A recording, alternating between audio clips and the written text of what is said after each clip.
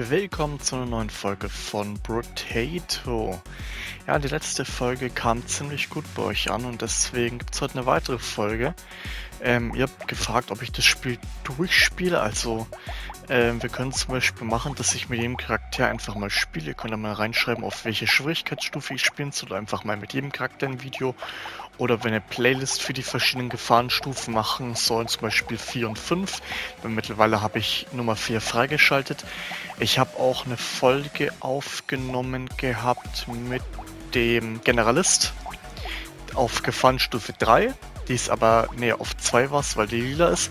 Die ist aber leider verloren gegangen. Ich weiß nicht warum, aber irgendwie ist dann Fehler aufgetreten. Richtig ärgerlich, aber naja.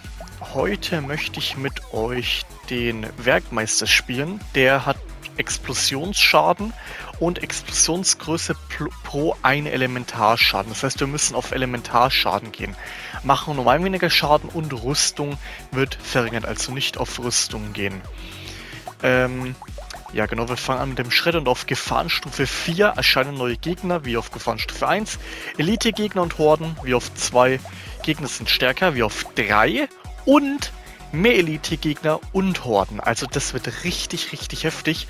Ich bin gespannt. Ich habe noch nicht gespielt auf Fair. Ich habe auch auf dem Werkmeister 3 habe ich beim aller, allerersten Versuch geschafft. Aber jetzt starten wir mit Gefahrenstufe Nummer 4. Und wir gucken einfach mal, was die Gegner so aushalten. Ob wir auch Ressourcen haben oder ob es mittlerweile sehr, sehr, sehr knapp ist und ja, ob es noch einen Boss gibt, ob es zwei Bosse sind und ja, wir gucken einfach mal, wie weit wir kommen. Ähm, ja, es gibt doch ein paar Themen heute zu besprechen und wir gucken einfach mal. So, erstes Level up. Es ist eigentlich direkt nur Scheiße, deswegen gehen wir hier mal auf Ernte. Ähm, Schredder, jawohl. Oh, eine Horde in Welle 12, in 14 und in 17 kommt ein Elite-Gegner. Ja, das, das müssen wir überleben. Also genau, wer Potato nicht kennt, wir haben einen Charakter. Der Charakter ist unterschiedlich. Wir können sechs Waffen tragen. Ähm, wenn wir attackiert werden, können wir diese Bäume hier angreifen, dann heilen wir uns. Es gibt verschiedene Stats, die wir aufleveln können. Und für jeden Gegner, den man eben killt, kriegt man diese grünen Münzen. Von denen kann man sich im Shop immer was kaufen. Ähm, die, die man nicht einsammelt, werden gespeichert für die nächste Runde. Und das Ziel ist es eben, alle Wellen zu schaffen und am Ende ähm, ja, zu überleben. So, den Kaffee hole ich, weil wir gehen hier eh nicht auf normalen Schaden, sondern Angriffsspeed ist für uns richtig, richtig wichtig. Ähm, ja, genau. Und ähm, hier zum Anfang des Videos ähm, sprich, spreche ich es am besten direkt an, falls ihr, euch das Video nicht interessiert und ihr schon abgeschaltet gehabt. Und zwar, ja, wie ist die aktuelle Lage? Also, falls ihr noch nicht in The Last of Us reingeguckt habt, ich habe es auch schon in The Last of Us gesagt, aber The Last of Us ist momentan das Hauptprojekt, ähm, auf dem der Hauptfokus ist. Das wird eben immer kommen, wenn ich ähm, Zeit habe, ähm, weil das Spiel ist einfach ein Herzensspiel von mir. Ich werde mir da sehr, sehr viel Zeit damit für das Spiel, weil ich einfach möchte, dass das Let's Play gut wird. Dann wird immer kommen, wenn ich Bock habe, ähm, eine Folge von Dead by Daylight. Das habe ich in letzter Zeit tatsächlich privat gespielt ein bisschen. Also ich muss sagen, manchmal sind Lobbys zwar immer noch voll scheiße, weil man eben Toxic-Leute hat. Und weil ich es tatsächlich als Killer-Main, muss ich sagen, ich finde es schwer. Ich habe mittlerweile ein bisschen ins Spiel reingefunden. Ich finde es tatsächlich schwer, wenn sich, wenn man einen verfolgt und sich trotzdem alle drei anderen an die Chance setzen, obwohl sie die Zeit hoch gemacht haben, wie lange ein Chen dauert, ich finde es trotzdem extrem schwer und die Chens fliegen einen wirklich um die Ohren.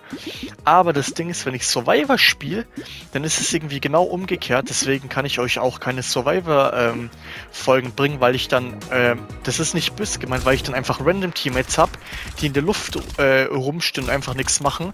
Und ich habe wirklich oft, wenn ich Survivor spiele mit Randoms, ähm, die, die lassen mich einfach auf dem Haken hängen. Ich rette die und ich, ich werde aufgegangen vom Killer. Oder werde äh, meistens auch getunnelt. Also da habe ich auch einen Dreckskiller, wenn ich Survivor spiele. Wenn ich Killer spiele, ist es genau andersrum. Und dann werde ich einfach aufgehangen und ich, ich werde nicht gerettet und dann sterbe ich halt am Haken. Und das ist halt Gameplay.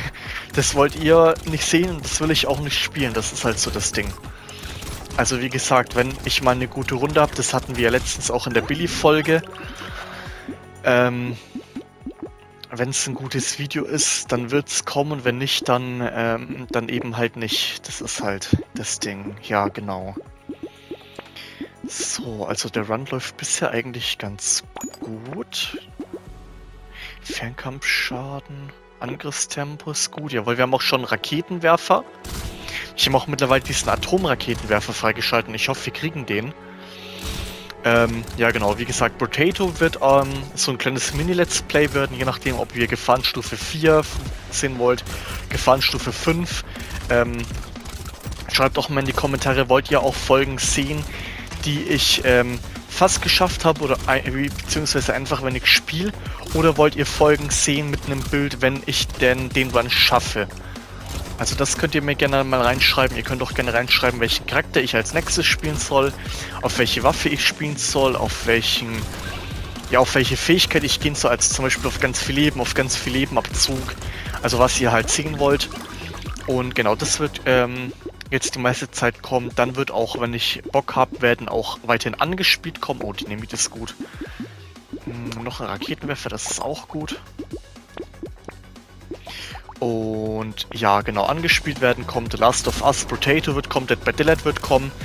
Und ja, ähm, woran liegt es, dass kaum Videos äh, kommen? Wie gesagt, The Last of Us kommt, wenn ich Zeit habe. Potato könnte ich einfach easy peasy spielen dann ich hüpfe in eine Runde Dead by Daylight rein und lade die hoch. Aber das ist es nicht.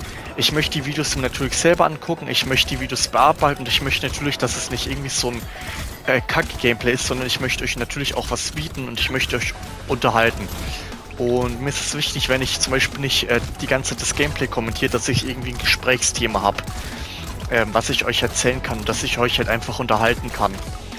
Und ähm, ohne jetzt zu viel zu erzählen, ähm, ich mache einen Beruf ähm, aktuell mit Schichtsystem. Also ich habe mal früh, mal spät. Und dann muss ich natürlich auch gucken, dass ich meinen Schlaf habe.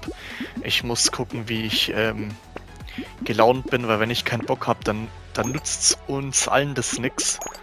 Ähm, ja, genau, dann habe ich keinen Bock, dann ist für euch dieses Video zum Beispiel blöd. Daran liegt ähm, dann zum Beispiel, wenn ich Feierabend habe, dann habe ich ähm, um, nicht mehr unbedingt Bock, ähm, ein Video hochzuladen und zu bearbeiten. Und ähm, im Moment kann ich euch auch sagen, es liegt daran, dass ich im Moment ähm, tatsächlich krank bin. Das ist auch so ein Faktor, weshalb nicht immer was kommt. Ähm, vom Kopf her und auch körperlich bin ich momentan krank. Ähm, das ist auch so ein Thema, was natürlich reinspielt, ähm, weil ich habe auch immer öfters gelesen, ja, du bringst deine Videos zu unterschiedlichen Zeiten, wann kommt es denn ungefähr, dass wir uns darauf einstellen können. Ich kann es euch im Moment nicht sagen. Wenn ich Urlaub habe, dann, keine Ahnung, zum Beispiel, wenn ich vorproduziere, dass die Videos zu einer bestimmten Zeit kommen. Aber so in der aktuellen Lage, wenn ich äh, Schicht arbeiten muss, dann kann ich es euch wirklich nicht sagen. Also, sorry. Es ist so, wie es ist. Ähm, ich hätte auch gern, oh, ich hätte auch gerne, dass es besser ist, aber ähm, ja, es ist momentan eben wie es ist. Oh mein Gott, der kostet 270, aber der ist episch. Ich glaube, der muss richtig reinknallen. Ich habe den selber noch nicht gespielt, sondern ich habe mir den Fall gespielt, den Atomraketenwerfer. Aber ich glaube, der scheppert richtig rein.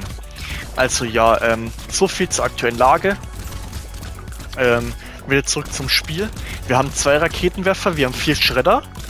Ähm, man merkt auf jeden Fall, es sind mehr Gegner. Ähm, ich komme trotzdem eigentlich mit den Ressourcen gut klar. Es sind mehr Gegner, ähm, die halten auch mehr aus, aber trotzdem bisher Gefahrenstufe 4. Also ich komme echt gut durch. Ich kann auch sagen, das ist das hier, der Explosivmeister, wie ich ihn immer, immer nenne, ist mein Lieblingscharakter, weil wenn man ein gutes Bild auf ihn hat und wirklich komplett auf Explosion geht, da kann man einen richtig, richtig guten Run ähm, ab und zu haben. Also mir macht der richtig, richtig viel Spaß. Ähm, ich, wenn ihr die Gefahrenstufen freispielen wollt, ich kann euch den nur empfehlen, falls ihr das Spiel auch habt. Ähm, falls ihr sterbt, ähm, was öfters mal vorkommt, ich empfehle euch, ähm, macht das Bild nach, worauf ich auch gehe. Also, wie gesagt, ihr könnt die Sachen, die ich mache, gerne nachbauen, wenn ihr nicht weiterkommt. Ähm, macht es auch gerne. Und Ja, genau. So, jetzt machen wir den auf episch. Dann haben wir drei Werfer, zwei Raketenwerfer und jetzt holen wir uns den Atomraketenwerfer auf Stufe 3. Und der normale Raketenwerfer macht 61 Schaden, der macht 121. Projektile können explodieren, Lebensabzug ist auch der abklingt. Oh, die abklingt ist tatsächlich ein bisschen höher. Aber der Schaden, oh, oh, oh, oh, aber der Schaden ist hoch. So, wisst ihr was, dann machen wir den Schredder auf Legendär und holen uns noch einen Atomraketenwerfer. Jetzt haben wir zwei auf Episch, zwei Raketenwerfer und zwei Schredder. Ich glaube, das ist eine gute Basic. Jetzt können wir gucken, gehen wir auf Raketenwerfer, äh, brauchen wir die Schredder oder können wir die Raketenwerfer irgendwann wegmachen und gehen auf die At Atomraketenwerfer. So, also Welle Nummer 10, die Hälfte hätten wir dann schon geschafft. Und jetzt bin ich schon auf die... Ra oh, die schießen Projektile, aber guckt euch den Explosionsradius an, das ist so krank. Also die Schredder schießen schnell, die, äh, die normalen Raketenwerfer schießen auch und explodieren. Die Atomraketenwerfer sind ein bisschen langsamer, aber der Radius, der ist insane. Also ich glaube, wenn wir 2-2-2 machen, haben wir eigentlich ein ganz gutes Bild. Weil wir schnell schießen können, wir können viel explodieren lassen. Also ich glaube, das ist so der Way to go. Wir gucken jetzt einfach mal, wie wir durchkommen, vor allem in Welle 12. Ähm, der wäre bisschen Dynamit nicht schlecht, dass wir natürlich noch einen höheren Explosionsradius haben, weil Welle heißt, ähm, beziehungsweise Horde, dass extrem viele Gegner kommen und da brauche ich natürlich Angriffsgeschwindigkeit und ich brauche einen hohen Radius, das viel explodiert, weil wenn die Gegner mir zu nahe kommen, dann bin ich auch drin, das wäre auch scheiße. So, die Hälfte haben wir. Hm, Max LP. Elementarschaden, genau. Weil wenn wir Elementarschaden skillen, dann kriegen wir Explosionsgröße. Ähm, so, hier haben wir nochmal einen Raketenwerfer, dann haben wir einen schon mal auf episch. Da haben wir die Medaille, wir gehen nicht auf Crit, also können wir da auch reingehen. Da ist nochmal ein Schredder, da haben wir den auf episch. Hm, da ist Elementarschaden, auf den gehen wir. Und dann würde ich sagen, gehen wir rein in Welle Nummer 11. Also bisher läuft es eigentlich relativ gut. Wie gesagt, TNT wäre nochmal äh, cool oder Dynamit besser gesagt. Aber ansonsten läuft es echt gut bisher. Also wenn ich 3 und 4 beide First Try schaffe, das wäre schon eine Sensation. Wie gesagt, das Video mit dem Generalist ist ja ähm, leider verloren gegangen. Ich habe auch Thumbnail erstellt, alles. Ich wollte das Video auch schon hochladen. Und dann, ja, ich wollte es auswählen, das Video, wollte es zum Upload bereit machen und auf einmal, ähm, ja, war es einfach weg. Also gestern kam ja auch The Last of Us. Ähm, falls ihr es noch nicht gesehen habt, schaut gerne rein. Ich würde mich freuen und wenn auch euch auch Potato gefällt, würde ich mich sehr über eine positive Wertung freuen. Das hilft uns immer sehr weiter. Ähm, Tipps und Tricks könnt ihr mir gerne reinschreiben. Ähm, teilt das Video gerne mit euren Freunden, wenn sie dieses komische, verrückte Spiel auch mal sehen wollen. Also für 5 Euro super, super Spiel. Ähm, teilt, teilt gerne das Video. Ähm, ja, genau. Packt euch in eure Playlists rein. Ähm, ja, genau. Und wenn ihr keine Videos mehr verpassen wollt, gerne auch natürlich den Kanal abonnieren und die Glocke anmachen, dann verpasst ihr nichts mehr. Genau. So, jetzt kommt die erste Horde. Also jetzt kommen, jetzt kommen richtig viele Gegner. Aber der Atomraketenwerfer, der hat so einen geilen Radius. Also ich glaube auch, wenn jetzt Horde kommt, wir sollten das, denke ich, eigentlich sogar ganz gut schaffen. Weil auch wenn wir Schaden nehmen, wir haben ja Lebensabzug, es geht, also wir sollten uns auch wieder relativ gut heilen. Und Horde ist eigentlich gar nicht so verkehrt, vor allem wenn wir auf Explosionsgröße gehen. Weil mehr Gegner heißt natürlich auch mehr Ressourcen für uns. Es ist natürlich schwer mit vielen Gegnern, aber mehr Ressourcen heißt, wir können uns mehr Sachen im Shop kaufen. Und guckt euch einfach das an. Die Gegner spawnen und boom, sind sie direkt wieder tot von Explosionen. Es ist so geil. Es ist so geil, wirklich. Zack. Zack. Selbst die großen Gegner sind direkt tot. Und wir haben knapp 700 Ressourcen. Das ist abnormal. Also ich glaube, wenn man ein gutes Bild hat und vor allem so viele Ressourcen mit Horde, irgendwie kommt es mir so vor, Gefahrenstufe 4 ist einfacher wie Gefahrenstufe 2, weil da hatte ich viel mehr Probleme. So, Rüstung dürfen wir nicht drauf gehen, oder? Ja, genau. Das heißt, wir gehen auf äh, Schaden. Wir müssen rerollen. Max LP. Mm, das nützt uns alles nichts. Nützt uns auch nix. Mehr Bäume können wir mal mit... Oh, fuck. Was habe ich jetzt gekauft?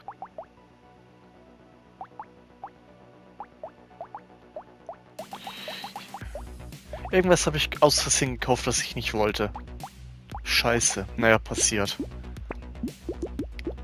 Ähm... Elementarschaden. Jawohl, sehr gut. Komm noch mal ein TNT. Oh, jetzt können wir entweder leg zum Legendären machen oder wir hauen eine Waffe weg. Und ich glaube, wir machen sogar einen zum Legendären und holen uns noch einen und den Hasen drüber sperren. So, Welle Nummer 13 und wenn wir die schaffen, kommt wieder eine Horde. Und guck mal, wir hatten ja noch so viele, ähm, ähm, hier, grüne Partikel am Leben, weswegen wir 103 im Beutel hatten sogar. Also wir kriegen richtig viele Ressourcen, denn die Ressourcen, die wir im Beutel haben und nach einer Runde nicht einsammeln, die werden gespeichert und deswegen, immer wenn ich jetzt Material einsammle, steht da mal zwei und dann kriege ich die Materialien, die ich aufsammle und kriege plus eben eine im Beutel. So, Welle Nummer 13, jetzt kommen schon mehrere, die, die schießen, jetzt kommen auch schon mehrere mit Rüstung. Und diese Tentakel, die machen extrem viel Schaden, die mag ich auch überhaupt nicht. Aber schaut euch an, wie viel Schaden wir machen. Aber ich krieg auch viel Schaden, weil ich muss echt aufpassen, weil wenn wir auf Rüstung gehen, ähm, Rüstung wird ja halbiert. Und wir dürfen nicht auf Rüstung gehen, deswegen müssen wir wirklich auf Lebensabzug gehen und auf maximal LP. Dass wenn wir getroffen werden, dass es nicht so schlimm ist. So, her mit den Ressourcen. Oh, und nicht getroffen werden. Schon wieder 119. So, Kaffee, Max LP. Nochmal ein Raketenwerfer, sehr schön.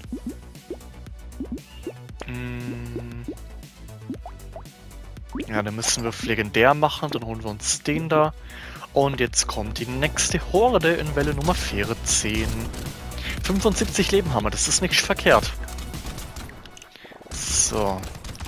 Wir haben mittlerweile drei legendäre Waffen. Alles klar, wenn wir noch ein paar Waffen auf episch kriegen, oder vielleicht doch noch ein, zwei auf legendär, das wäre schon nicht verkehrt, weil ich glaube, die, die Horden machen uns äh, nichts aus, die geben uns Ressourcen, aber ich glaube, wenn die Bosse kommen, ich weiß nicht, ob auf Gefahrenstufe 4 schon zwei Bosse kommen am Ende oder erst auf Gefahrenstufe 5, aber ich glaube, die werden uns Probleme machen, weil ich habe öfters Probleme bei den Bossen, als wenn einfach richtig, richtig viele Gegner kommen. Und also guckt euch die Explosionsgröße an, das ist so abnormal. Aber auch die roten Kugeln, also wenn ich getroffen werde, ich habe zwar 75 Leben, aber ich kassiere trotzdem relativ gut Schaden. So, aber es läuft, es läuft. Wir kommen gut durch. Und Welle 15 wird eventuell auch wieder einfacher wie die Welle, weil die Welle ist ja eine Horde. So, und zack, 206 im Beutel. Aber dann nur Scheiße. EP-Generation. Billiger machen das Zeug. Kartoffelwerfer ist nicht gut. Wir können noch mal Minen holen. Werkzeug brauchen wir auch nicht. Mann, ich möchte TNT. Raketenwerfer episch. Ah, jetzt muss ich den blauen. Ah, der blaue war jetzt umsonst, aber naja. Mehr Bäume können wir noch mal mitnehmen. Gut, dann gehen wir in Welle 15 rein. So, alles klar. Und dann in Welle 16 oder 17 kommt ja ähm, der Elite-Gegner. Ich bin gespannt, wer es wird. Ich bin gespannt, ob es schwer für uns wird oder ob wir das auch easy peasy schaffen wie die Wellen bisher. Aber wie gesagt, man sollte ein Potato nie den Mund zu voll nehmen, weil es wirklich jederzeit passieren kann, dass irgendwie ein Charakter einen trifft, dass man in der Sackgasse ist und wupp, ist der ganze Run auch schon wieder vorbei. Also es kann wirklich jederzeit alles mögliche passieren. Es kommt immer darauf an, welche Gegner spawnen, wo spawnen Gegner, also... Ja, falls ihr selber das Spiel spielt, schreibt mir auch mal gerne in die Kommentare, welchen Charakter spielt ihr gerne. Habt ihr schon äh, Gefahrenstufe 5 geschafft? Ähm, gefällt euch das Spiel immer noch? Sollen wir eine Playlist mit Gefahrenstufe 4 oder 5 machen? Wollt ihr alle Charaktere sehen oder nur die, wo ich Bock drauf habe? Also ähm, schreibt doch mal, wie häufig ihr in der Woche das Spiel sehen wollt. Also keine Ahnung, zwei, drei, vier Mal. Oder ähm, jeden Tag, jeden zweiten, wie ich Bock drauf habe. Also einfach mal in die Kommentare reinschreiben. Oh, Explosionsgröße. Oh mein Gott, das ist ja perfekt. Alien-Augen sind auch gut. Also ja, äh, einfach mal in die Kommentare reinschreiben, da gehe ich auch drauf ein. Oh, Explosionsschaden, jawohl, jetzt haben wir Größe und Schaden. Bäume direkt weg. So, Welle 16 kommt noch nichts und in Welle 17 kommt der Elite-Gegner. Und schaut sich jetzt einfach an, wer... Junge, das halbe Spielfeld explodiert. Vor allem, wir machen jetzt mehr Schaden und die, die Größe ist... Oh mein Gott, das ist so krank. Also ich glaube, ungelogen, das ist der beste Charakter im Spiel. Ich habe natürlich noch nicht alle Charaktere gespielt, aber bisher das, was ich sehe, ähm, ist unglaublich geil. Die Größe ist gut und boah. Es ist wirklich genial.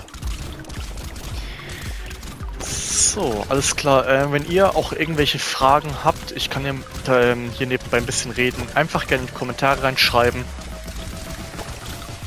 Ähm, ja, wie gesagt, es ist auch ein bisschen gesundheitsbedingt, wie die Videos kommen, aber ich gebe mir Mühe, dass einiges kommt. Ähm, ich möchte auch nicht, euch auch nicht enttäuschen, sondern ehrlich zu euch sein.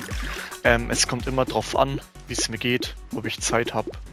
Und ja, dann kommt ein Video, manchmal vielleicht nicht, also auch keine Angst. Wenn auch mal zwei, drei Tage nichts kommt, dann mache ich auch einen Infopost und informiere euch. Also ohne dass ich euch jetzt ähm, nicht informiere, dann kommt eigentlich schon nichts, außer es ist jetzt irgendwie was ganz Schlimmes, Privates, dann kommt vielleicht mal nichts. So. Oh, noch ein Explosionsschaden, sehr gut. Und jetzt kommt die Elite-Gegner. Hoffentlich ein einfacher. Oh, den kenne ich sogar gar nicht. Aber guckt euch mal an, wie viel Schaden wir dem machen. Der hat ja gar keine Chance. Also, ich, das könnte sogar der Run sein. Äh, genauso wie in Gefahrenstufe 3, dass ich Gefahrenstufe 4 einfach First Try schaffe. Wenn ich den jetzt umbringe, haben wir die Welle dann direkt geschafft oder geht die noch weiter? Schauen wir mal. Oh mein Gott, aber... Oh mein Gott, jetzt wäre ich fast gestorben. Der macht richtig viel Schaden, der Heini. Eine rote Kiste, auch interessant. Und her mit den Ressourcen. Also wie gesagt, ich, ihr habt es gerade gemerkt, ich habe den Mund zu voll genommen, habe gesagt, ja, der ist richtig easy. Und dann wäre ich sogar noch fast verreckt. Aber ähm, wenn der Boss auch so wird, dann habe ich tatsächlich ein sehr, sehr gutes Gefühl, dass wir das hier schaffen können. An der Stelle. Weil die Explosionsgrößen, der Schaden, das ist einfach insane. Das ist ungelogen ähm, meiner Meinung nach wirklich der beste Charakter im Spiel. Es macht so, so viel Spaß. Ähm. Ne, verwerten. Elementarschaden nochmal. Nochmal ein Atomraketenwerfer, sehr gut. Jetzt haben wir vier Waffen auf legendär.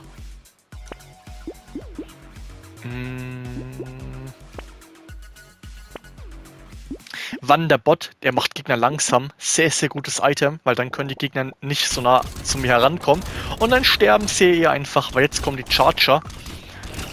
Und wirklich, ich muss nichts machen. Die, die, die, die, kommen nicht ran an mich, weil wenn die zusammenstehen nebeneinander, die sterben einfach, weil der, weil die äh, Explosionsgröße der Radius einfach so hoch ist. Und selbst die Starkgegner, die rot umrundet sind, selbst die sterben mit einem Schuss. Also es ist wirklich ein insane.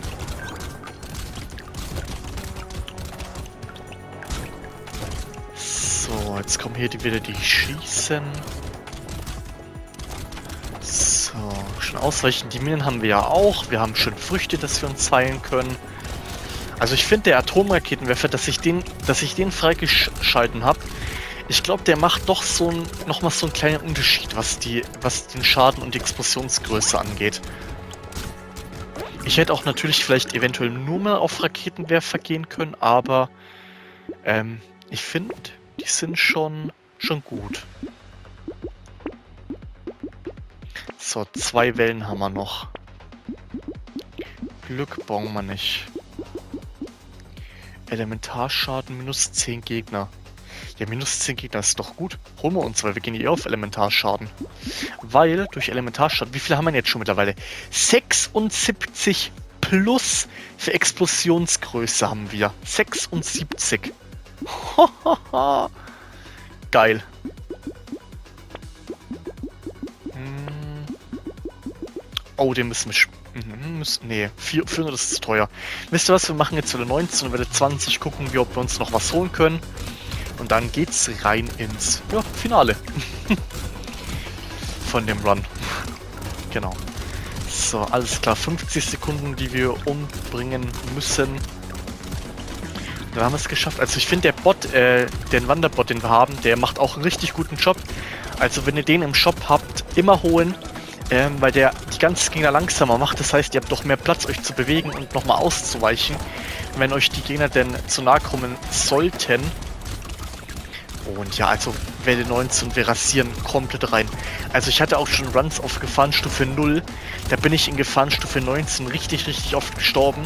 Aber wenn ich hier den Unterschied sehe, und das ist Gefahrenstufe 4, also vier Stufen schwerer, wir haben keine Probleme. Ihr seht, ich nehme keinen Schaden, ich kann, ich kann einfach frei rumlaufen. Das ist wie Urlaub. Ich habe kein Problem. Ich laufe und laufe und laufe. So, und das war's. Welle 19 geschafft. Und jetzt kommt noch eine Welle. Und wenn wir die schaffen, dann haben wir Gefahrenstufe 5 freigeschaltet. Und ich glaube, die wird wirklich extrem. Äh, geschützt bauen wir nicht. Minus 10 Temp. Hm. Projektile haben ab. Ne, nutzen es auch nichts. Dynamit ist gut. Bäume sind gut, weil wir haben viele Bäume. Nochmal ein Schredder, jawohl, jetzt haben wir noch eine Waffe legendär. Und ja, das war's. Also wir haben zweimal Augen, wir haben dreimal mehr Bäume und wenn wir einen Baum umbringen, dann spawnt ein Geschütz. Dann haben wir viermal Minen, viermal Explosionsschaden. Also ich glaube, den, den, den Boss müssen wir jetzt richtig, richtig schnell wegmachen. So, also es geht los. Welle 20. Nochmal durchatmen und einfach den Boss töten, weil dann haben wir es geschafft und dann haben wir Gefahrenstufe Nummer 5. Also, wir gehen rein. Auf geht's. Ja, der hält ganz gut aus und es ist der Magier, der diese Projektile um sich rumschleudert. Da muss man auch aufpassen, weil irgendwann, wenn es ganz, ganz viel... Aber, oh mein Gott, ist er jetzt schon halber tot? Schaut euch den Schaden an, den wir... Äh, das müssen wir schaffen. Wenn da jetzt nichts schief geht, schaffen wir das. So, der schießt jetzt nämlich auch noch. Aber schaut euch das an. Wir, wir, wir können den Boss umbringen, wir können die normalen Gegner umbringen. Also, der hat... Oh mein Gott, oh, jetzt wurde ich getroffen. Der hat keine Chance gegen uns. Hm, aber die Projektile... Komm, nicht mehr viel. Komm, komm, komm, komm, komm. Und wir haben es geschafft. Gefahrenstufe 4 geschafft, ohne Probleme. Gefahrenstufe 5 und wir haben den Ritter freigeschaltet. Sehr schön. Der Ritter ist auch ein richtig, richtig cooler Charakter und Gefahrenstufe 5 freigeschaltet. Das war der Run. Werkmeister, Taschenfabrik, Kerze, Fesseln, Wanderbot, Limonade, Holzfällerhemd, zweimal die Alien-Augen, einmal den Plastiksprengstoff, der Coupon, dreimal der Baum, viermal Landminen, kleines Magazin, viermal Dynamit, das Sparschwein, die Medaille, das Lagerfeuer, dreimal der gefährliche Hase, die Lederweste, der Benzintank und zweimal der Kaffee. Jawohl, wir haben es geschafft. Also, wenn es euch gefallen hat, sehr gerne eine positive Bewertung dalassen. Ähm, ich hoffe, euch hat das Video gefallen. Wenn ihr nichts mehr verpassen wollt, abonnieren und die Glocke anmachen. Ähm, ich hoffe, ihr seid beim nächsten Mal wieder dabei. Ähm, ich wünsche euch noch einen wundervollen Tag und dann haut rein und bis zum nächsten Mal. Ciao, ciao.